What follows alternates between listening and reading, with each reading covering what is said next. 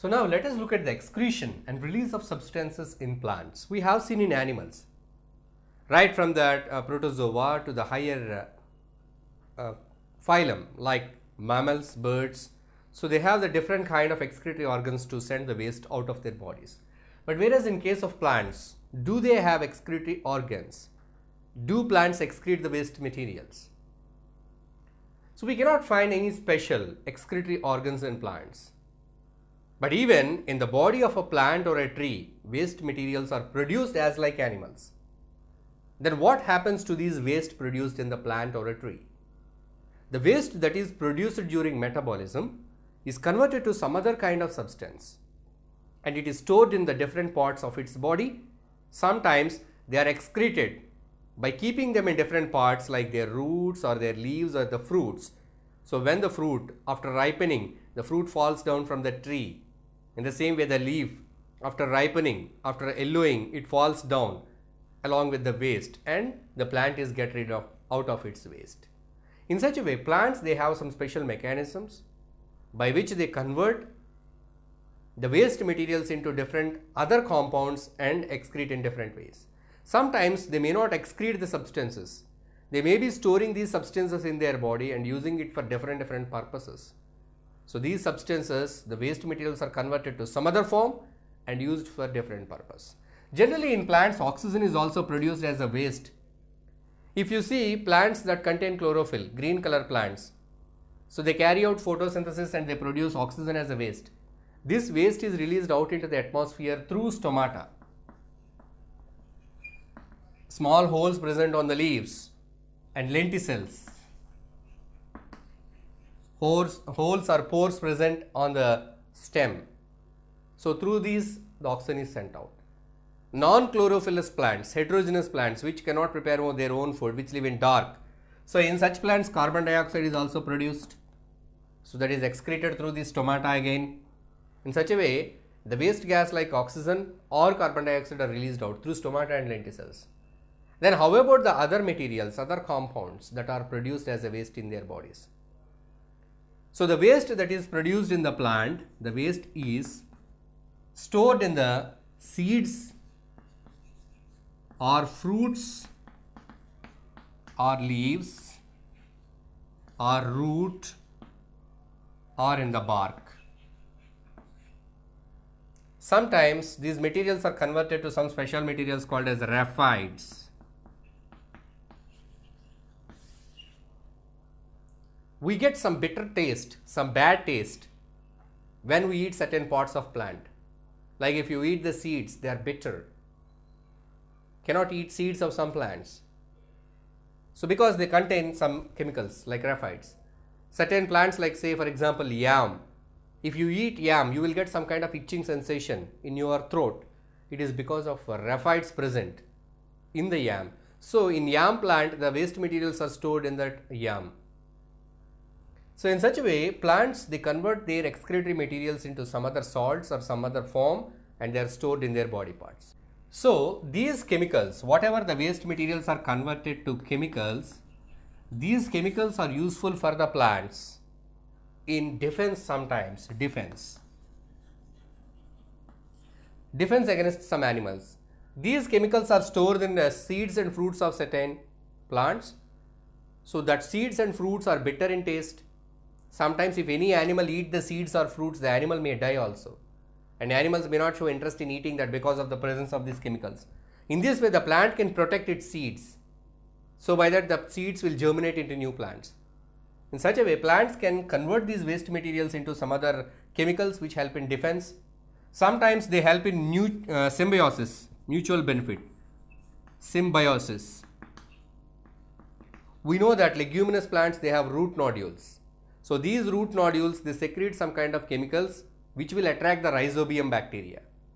So the rhizobium bacteria in turn help the plant and plant helps the rhizobium bacteria. There is a, there is a mutual helping, understanding and cooperation among the bacteria and the root nodules of the leguminous plants in fixing the nitrogen. So to attract the rhizobium bacteria, the root nodules are secreting some substance that is a chemical substance which is a waste. So the waste is converted into a useful substance, some other metabolite and it is used either for defense, protecting itself or sometimes it is used for other purpose like uh, symbiosis. So many of the plants they secrete many materials. We see that a rubber plant, latex is produced, some kind of alkaloids are produced, various kinds of materials are uh, produced from different plants. So plants they produce various kinds of biochemicals. They synthesize various biochemicals. So these biochemicals are basically categorized into two primary metabolites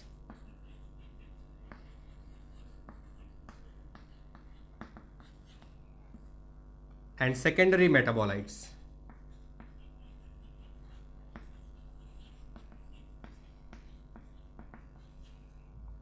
Primary metabolites and secondary metabolites. What are primary metabolites? The substances like, we know that plants prepare carbohydrates by using sunlight, carbon dioxide, water. So, such carbohydrates, carbohydrates, fats, proteins, vitamins, amino acids, these are all the primary metabolites which will help the plant for its growth and development. So, the biochemicals which help the plant in its growth and development are called as primary metabolites. The chemicals which are not essential for growth and development of a plant, they are for some other purpose. We call them as secondary metabolites.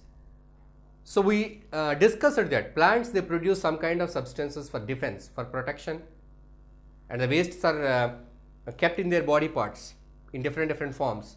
So those are all secondary metabolites, not the primary metabolites. Now let us see what are the secondary metabolites that are generally observed in plants. Some of these secondary metabolites they have very good commercial use, means they are extracted from the plants for various applications in our day-to-day -day life while prepare to prepare certain medicines or certain kind of beverages and many other industrial applications are there with the secondary metabolites of various plants. So now let us look at the secondary metabolites. They are the alkaloids, tannins, gums, resins and latex. So all these secondary metabolites, they have very good commercial uses in the market. So first let us discuss about the alkaloids. It includes like quinine, nicotine, morphine, cocaine, res, uh, reserpine, caffeine, nimbin, scopolamine and pyrethroids. So these alkaloids are nitrogenous compounds and most of them are poisonous. Of course, even though they are poisonous, many of them are medicines. They are used as a medicines, painkillers, antibiotics or antiseptic and at the same time insecticides are also there in these alkaloids. So let us see that quinine Quinine is an alkaloid which is uh, used as an anti-malarial drug. And nicotine. So the nicotine is used as an insecticide. This is found in the leaves. And morphine and cocaine, these two are painkillers. But sometimes this nicotine and morphine, cocaine are misused as some kind of um, um, uh, malpractices for using uh, morphine and cocaine.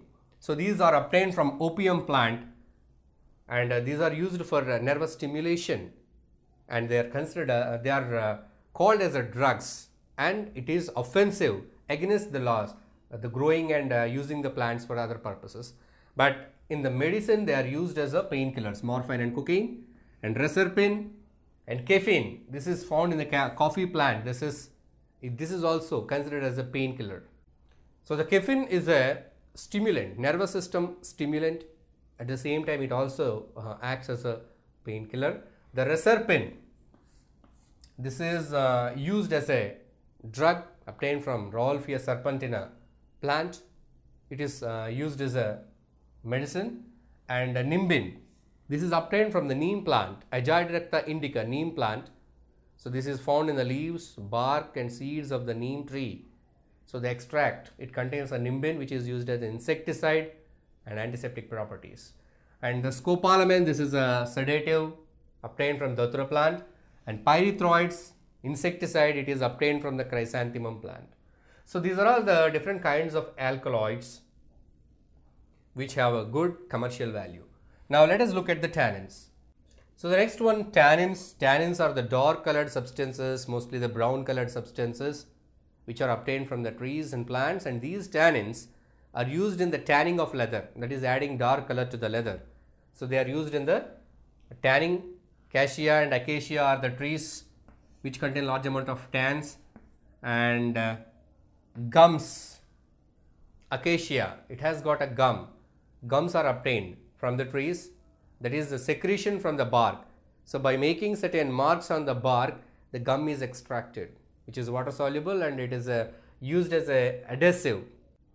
So these gums, they absorb the water, they swell up by absorbing the water. So these natural gums are obtained from plants like tree, uh, trees like uh, neem and acacia and these gums are used in the preparation of medicines, preparation of food. So certain, uh, these are the natural gums which are used in the preparation of certain food item or in that uh, preparation of a certain kind of medicines. So they have good commercial value and resins. And resins are obtained from the gymnospermic plants like pine plants. They have special resin passages through which the resins are secreted. So in this way resins are collected from the gymnosperm plants. Gymnosperm plants, naked seeded plants. Example, pine. Pine we find cones, they have passes for this uh, secretion of resins. The next one is latex. So latex is a milk kind of white kind of material that is obtained by making marks on the bark of tree. Mostly we see this latex in the rubber trees. The secretion, the milk of the rubber tree is collected and made into rubber. So latex is used in making many uh, rubber products or commercial products. The latex that is collected uh, from the Jatropha plant. The latex that is collected from the Jatropha plant is used as a biodiesel. The latex that is collected from the rubber plant is used to make rubber. So in this way, these are the various secondary metabolites that are obtained from the plants which have very good commercial value. So we have seen that plants, they are not directly excreting, but they have various methods in which various metabolites are produced and they are excreted in different ways. But in some cases, in certain plants, the roots excrete the waste that was observed by a scientist called as Brugman. He observed that the roots of an apple tree is excreting some waste materials into the soil. So in a field, if apple trees are grown in a garden, after 4 or 5 years, the soil becomes useless for the growth of the tree again, even though large amount of fertilizers are added. So after 4 or 5 years, the soil is full of that excretory materials that are left by the roots of the trees. So this is an ev evidence, this shows that certain plants, they directly excrete through their roots the waste into the soil. Now let us look at the excretion versus secretion, the differences between excretion and secretion. So excretion is sending the waste materials out of the body, which are not essential. If their presence causes some problem, such materials are sent out of the body. Secretion means producing some substance which is useful at some other place of our body. Say for example, saliva. Saliva is not excretory material, it is a secretion, saliva. Saliva is secreted into the mouth for the process of digestion. For some purpose it is secreted.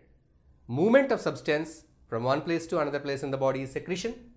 Excretion means that is the material that is uh, prepared and sent out of the body. Say for example, urine, tears, sweat. These are all under excretion. Secretions, saliva, hormones, enzymes. These are all the secretions. So excretion is a passive in nature, whereas secretion is an active in nature. That is, uh, useful substances are produced and the movement of useful substances from one point to another point of our body here the useless substances are eliminated out of the body by excretory systems. Even in plants also we observed certain plants like apple, their roots excrete the waste materials out of their bodies. And in plants also we see the secretions. What are the secretions? We see the resins and gums, tannins, tannins, all these are the secretions in plants. So this is the major difference between excretion and secretion.